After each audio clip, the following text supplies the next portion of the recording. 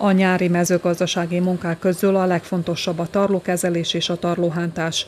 Elsősorban a nedvesség megőrzése miatt végzik a termelők, de a szármaradványok leszántásával tápanyag is jut a talajba. A gazdálkodók tárcsázzák, majd szántják a területet. Vannak, akik kénytelennek vegyszerezni. Lapos földekbe ami az udvarnaki földek, ahogy az 5 6 osztályúak, sajnos ottan áll a víz egy-egy csíkokba, a kombányomokba, azokat vegyszerrel per, per, permetezem le.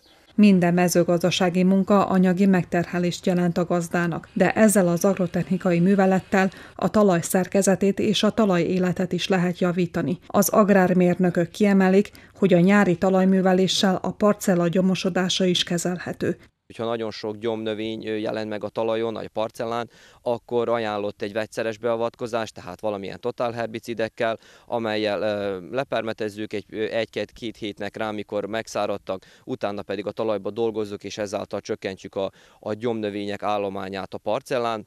A tarlóhántást követően korai érésű növények vethetők, például silókukorica az állatok részére, vagy más haszonnövény, amit ősszel, alapműveléssel zöldtrágyaként lehet hasznosítani.